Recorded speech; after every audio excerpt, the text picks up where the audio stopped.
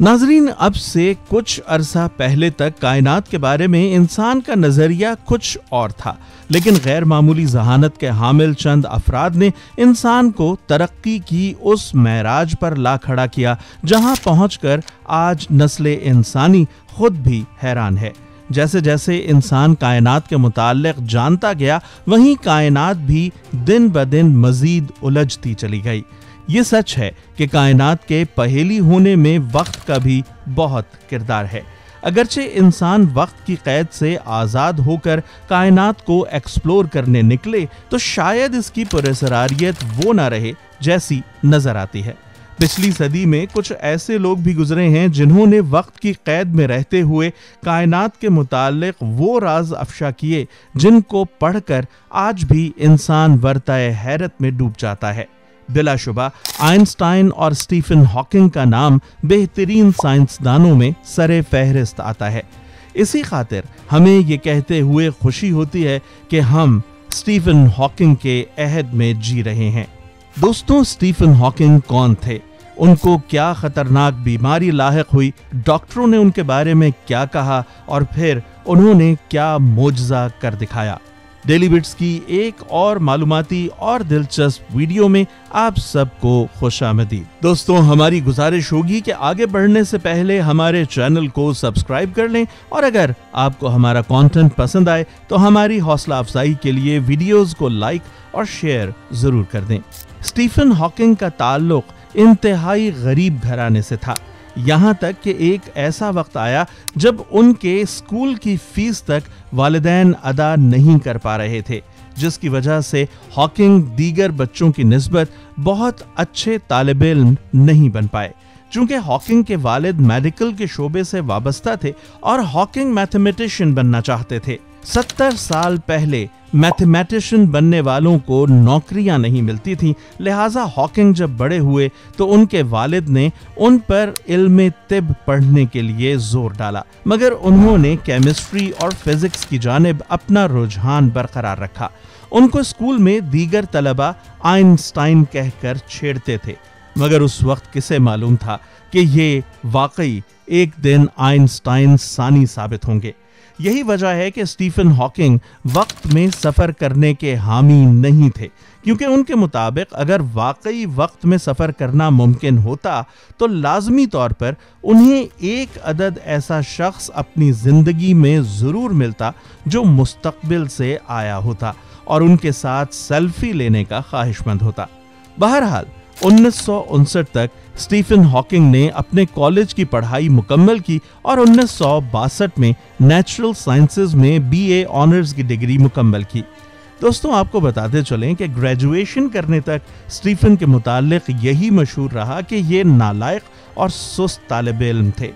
اسی اسنا میں جب ہاکنگ زندگی کی اکیسویں دہلیز پر قدم رکھ رہے تھے تو کالج میں دوران تقریر اچانک گر پڑے۔ ان کے والد اس حالت سے پریشان ہوئے اور انہیں ڈاکٹر کے پاس معائنے کے لیے لے گئے۔ وہاں یہ معلوم ہوا کہ ہاکنگ ایک لا علاج بیماری موٹر نیورون کا شکار ہو چکے ہیں اور اگلے دو سالوں میں ان کی موت واقع ہو جائے گی۔ یہ ایسی بیماری ہے جس میں مریض کے تمام اعضاء ایک ایک کر کے کام کرنا چھوڑ دیتے ہیں اور بالآخر مریض مر جاتا ہے۔ وقت کے ساتھ ساتھ ہاکنگ پر بیماری کا سایہ گہرا ہوتا گیا۔ اب وہ لنگڑا کر چلنا بھی شروع ہو گئے تھے۔ بولنے میں بھی مشکلات کا سامنا کرنا پڑتا تھا۔ یہاں آپ کو بتاتے چلیں کہ اسٹیفن ہاکنگ کی زندگی پر بنائی ہالی ووڈ کی ایک film the theory of everything جو دو ہزار چودہ میں اسٹیفن ہاکنگ کے ہوتے ہوئے ہی بنائی گئی تھی، آپ دیکھ سکتے ہیں۔ اس تمام صورتحال نے ہاکنگ کو شدید دھچکا پہنچایا اور انہوں نے ہار مان کر دنیا سے کنارہ کشی اختیار کر کے موت کا انتظار کرنے کا فیصلہ کیا۔ لیکن اسی دوران ان کے استاد اور ماڈرن کاسمولوجی کے بانی ڈینس ولیم نے انہیں ہمت دلائی اور علمی میدان میں انہیں واپس لائے۔ سو یہی بیماری ان کی کامیابی کا سبب بنی۔ ان کی کوشش تھی کہ مرنے سے پہلے آئنسٹائن کے نظریہ اضافت کے متعلق مسائل حل کریں اور انہیں مزید ایکسپلور کریں۔ انہوں نے انیس سو چونسٹھ کے وسط میں علمی میدان میں واپس آ کر اپنے پسندیدہ سائنسدان فریڈ ہائل کے سائنسی نظریات میں سے غلطیاں نکالی۔ یہ پہلا وقت تھا جب انہیں بھرپور پذیرائی ملی۔ یہ وہ دور تھا جب بگ بینگ اور بلیک ہولز کے متعلق بہت سے مفروضے گردش میں تھے۔ کاسمک بیک گراؤنڈ ریڈیشن دریافت ہو رہی تھی اور فزکس میں نئے نئے ذرات دریافت ہونے کا سلسلہ چل نکلا تھا۔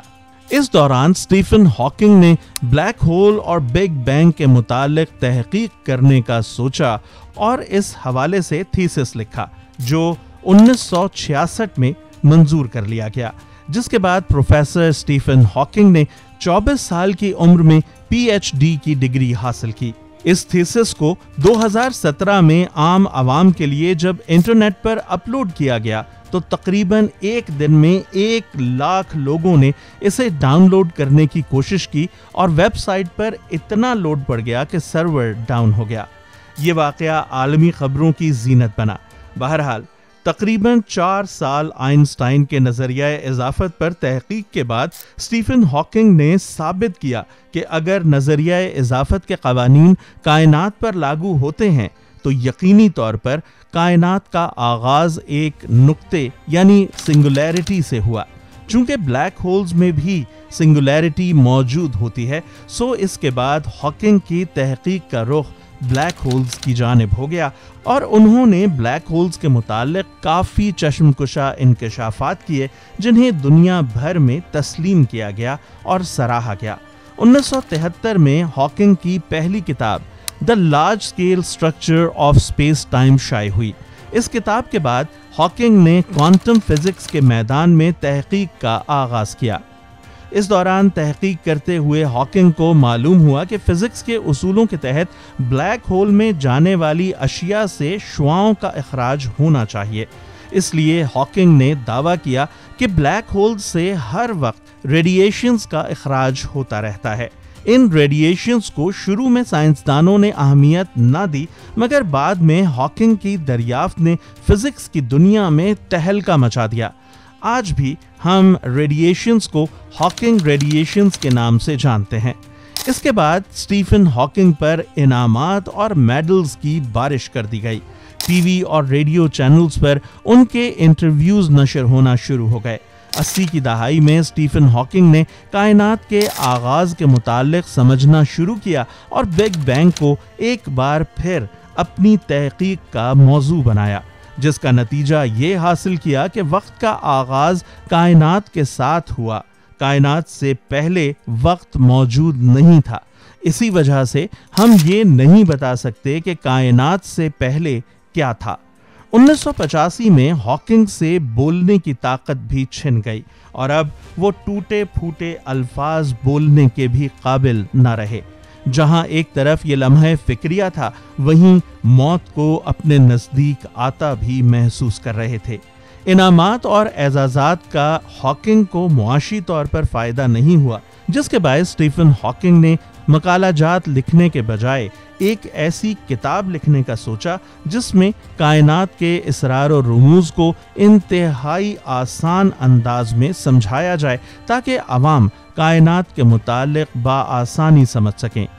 اسی وجہ سے انیس سو اٹھاسی میں ہاکنگ نے شہرہ آفاق کتاب a brief history of time لکھی جس کی اس وقت نوے لاکھ کاپیاں فروخت ہوئیں۔ بعد میں اس کتاب کا شائقین کی جانب سے دنیا کی کئی زبانوں میں ترجمہ کیا گیا۔ اس کتاب کو انیس سو بانوے میں ایک ڈاکومنٹری کی صورت میں بھی پیش کیا گیا۔ انیس سو ستانوے میں سٹیفن ہاکنگ کی چھ حصوں پر مشتمل ٹی وی سیریز بھی آن ایئر کی گئی، جس کے بعد ہاکنگ نے دو ہزار ایک میں ایک اور شہرہ آفاق کتاب the universe in a nut shell لکھی۔ اس کے بعد دو ہزار پانچ میں اب بریفر ہسٹری آف ٹائم لکھی۔ اس کے بعد دو ہزار چھ میں دنیا ریاضی میں تہلکا مچانے والی کتاب گاڈ کریٹڈ دا انٹیجرز لکھی۔ ہاکنگ کو دنیا بھر کی یونیورسٹیز میں مدعو کیا جانے لگا۔ دو ہزار سات میں اسٹیفن ہاکنگ کو خصوصی طور پر زیرو گریوٹی فلائٹ میں لے جایا گیا، جہاں انہیں کشش سقل سے آزاد ماحول ایکسپیرینس کرنے والے پہلے معذور انسان ہونے کا اعزاز حاصل ہوا۔ سٹیفن ہاکنگ ہگز بوسون نامی ذرات کو تسلیم نہیں کرتے تھے، مگر بعد میں جولائی دو ہزار بارہ میں سرن لیبارٹری میں ان کا وجود ثابت ہو گیا، جس پر سٹیفن ہاکنگ نے اپنی شکست تسلیم کرتے ہوئے ہگز بوسون کے متعلق سب سے پہلے پیشگوئی کرنے والے سائنسدان کو نوبیل پرائز دینے کا مطالبہ کیا۔ دنیا بھر کے ممالک نے اپنے اعلیٰ اعزازات سے ہاکنگ کو نوازا۔ کئی ممالک میں عمارتیں ان کے نام سے منسوب کی گئیں۔ چونکہ سٹیفن ہاکنگ وقت میں سفر کرنے کے ناقد تھے، اس وجہ سے انہوں نے اٹھائیس جون دو ہزار نو کو اپنے گھر ایک ٹائم ٹریولر پارٹی رکھی اور اس کا اعلان اگلے دن انتیس جون دو ہزار نو کو کیا کہ کل رات میں نے ٹائم ٹریول پارٹی رکھی تھی جس میں کسی نے شرکت نہیں کی۔ اس کا مطلب یہ ہے کہ انسان کبھی ماضی میں سفر نہیں کر پائے گا۔ کیونکہ اگر مستقبل میں وقت میں سفر کرنا ممکن ہو جاتا تو کوئی نہ کوئی ٹائم ٹریولر لازمی اس پارٹی میں آتا۔ دو ہزار پندرہ اور دو ہزار سترہ میں سٹیفن ہاکنگ نے خلائی مخلوق کے متعلق زبردست تحقیقات کی ان کی وسیعت بھی یہی تھی کہ اس کائنات میں کوئی دوسری مخلوق لازمی طور پر موجود ہے، مگر انسانوں کو اس سے کبھی رابطہ کرنے کی کوشش نہیں کرنی چاہیے۔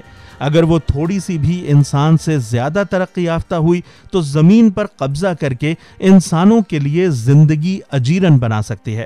بالکل ایسے ہی جیسے کولمبس کے امریکہ دریافت کرنے کے بعد امریکیوں کو سخت حالات کا سامنا کرنا پڑا۔ شروع میں سٹیفن ہاکنگ کی جب بولنے کی صلاحیت ختم ہوئی تو وہ اپنی انگلیوں کے ذریعے کمپیوٹر سے الفاظ کا چناؤ کر کے تقاریر کرتے تھے۔ مگر دو ہزار پانچ میں ان کی انگلیوں تک نے کام کرنا چھوڑ دیا، جس کے لیے انٹیل کے ماہرین نے ان کے گالوں کی حرکت کے ذریعے الفاظ تخلیق کرنے کی ٹیکنالوجی متعارف کروائی اور یہ مختلف یونیورسٹیز میں تقاریر کرنے کے لیے اپنے گالوں کو ہلا کر الفاظ کا چناؤ کرتے تھے۔ چونکہ یہ ویل چیئر بھی خود نہیں چلا سکتے تھے، اس کو بھی چلانے کے احکامات گالوں کی موومنٹ کے ذریعے دیتے تھے۔ وفات سے کچھ عرصہ پہلے تک مرض اس حد تک شدت اختیار کر گیا کہ سانس لینے میں بھی انہیں دشواری پیش آتی تھی، جس کی وجہ سے انہیں کئی بار وینٹیلیٹر پر رکھا جاتا رہا۔ ستمبر دو ہزار تیرہ میں اپنی بیماری سے تنگ آ کر اپنی مجبوری کا اظہار ہاکنگ نے ان الفاظ میں کیا۔ میرے خیال میں جو لوگ شدید تکلیف میں مبتلا ہوں، ان کو اپنی زندگی ختم کرنے کے حوالے سے قانونی اختیار دے دینا چاہیے۔ ہم جانوروں کو اذیت نہیں پہنچا سکتے، تو پھر انسانوں کو کیوں اذیت میں رکھتے ہیں؟ سٹیفن ہاکنگ چھتر سال کے تھے، جب ان کی چودہ مارچ دو ہزار اٹھارہ کو موٹر نیورون بیماری کی وجہ سے موت ہو گئی۔ سٹیفن ہاکنگ اس بات پر بھی زور دیتے رہے کہ انسان کو اگر اپنی بقا عزیز ہے تو پھر زمین سے نکل کر کائنات کے دیگر گوشوں میں بھی خود کو آباد کرنا ہوگا۔ اس کے علاوہ ہاکنگ سائنسدانوں کو یہ تنبیہ بھی کرتے رہے کہ کمپیوٹر میں موجود وائرس بھی آنے والے وقت میں کمپیوٹر اور روبوٹس کو اپنے کنٹرول میں کر کے انسانوں پر حکمرانی کر سکتے ہیں۔ اور یہ زندگی کی ایک الگ اور نئی قسم ہو سکتی ہے۔ بلا شبہ سٹیفن ہاکنگ کے جانے سے علم فلکیات میں پیدا ہونے والے خلا کو پر کرنا مشکل ہوگا۔ لیکن یہ بھی سچ ہے کہ ہاکنگ کی تحقیقات نسل انسانی کو کامیابیوں کے نئے زینے پر پہنچانے کے لیے اہم سنگ میل ثابت ہوں گی۔ دوستوں، آج کے موضوع پر ہمیں آپ کی رائے کا انتظار رہے گا۔ ویڈیو پسند آئی ہو تو اسے دوستوں کے ساتھ ضرور شیئر کریں۔